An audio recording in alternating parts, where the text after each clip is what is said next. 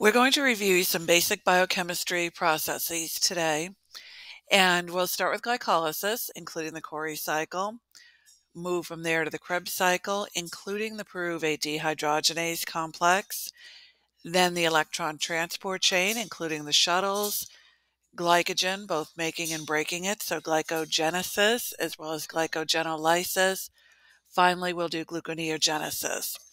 We'll probably break them up into a two or three different videos, but let's talk about how they all fit together first. So we started out with a molecule of glucose. That's the traditional place to start, just kind of the traditional carbohydrate to start with. We took that to pyruvate. That was our glycolysis story. One of the things that you have to know about every single process that we do is what's the point of the process? Likely, nobody will directly ask you what's the point. More likely, they'll give you a story. You ate this, you didn't eat that, you're doing something, you're not doing something.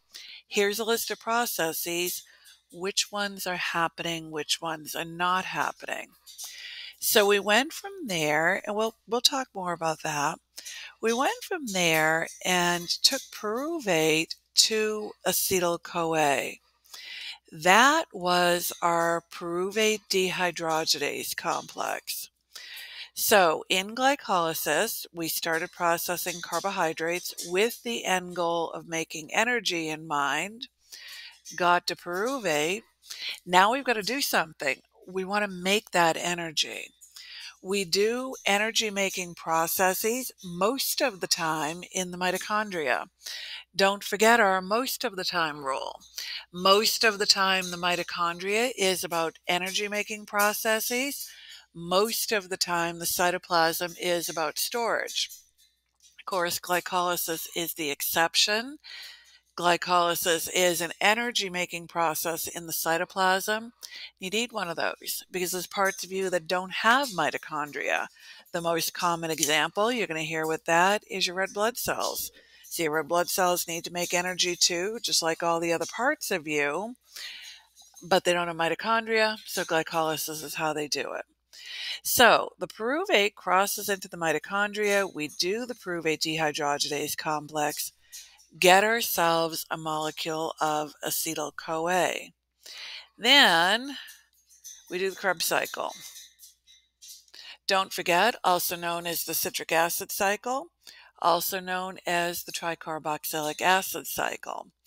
So, this is where we process not only carbohydrates, you remember that, but also fats and also proteins. When we first did this, we hadn't talked about fats and proteins yet.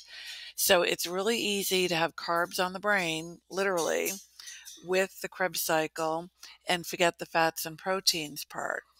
But what we do is we make the stuff that makes you ATP. So we don't actually make ATP in the Krebs cycle. We make the stuff that makes ATP, as in we make ATP equivalents. We write checks for ATP. Well, a check is not spendable money. You need to be able to cash the check to get spendable money. You need to be able to convert your ATP equivalents or your reducing equivalents, another term for the same thing, to spendable ATP.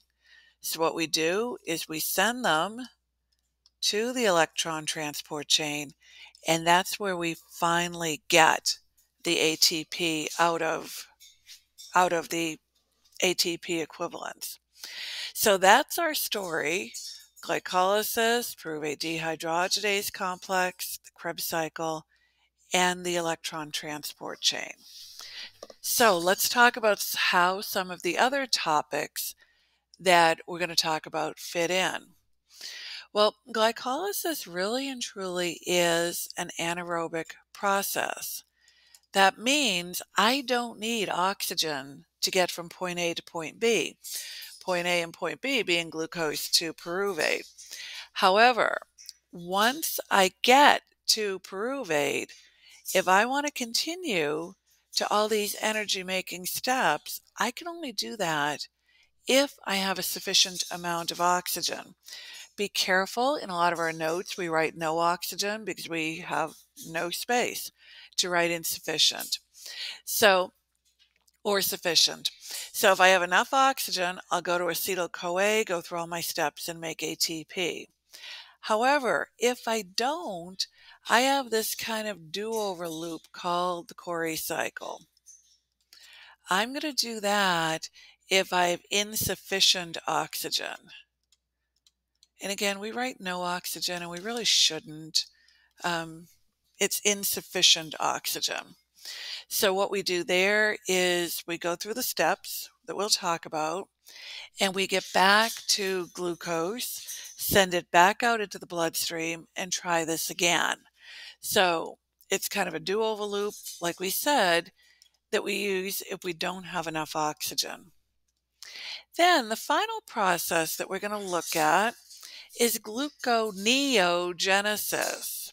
So gluconeogenesis, break the word down. Gluco, glucose, neo, new, genesis, generating. It's a way I can make glucose out of non carbohydrate sources. It's a way I can make glucose if I don't happen to be eating enough glucose.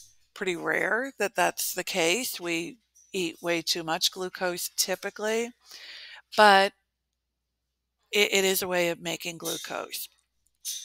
So that's how our, all of our processes, these five that we're talking about, fit together.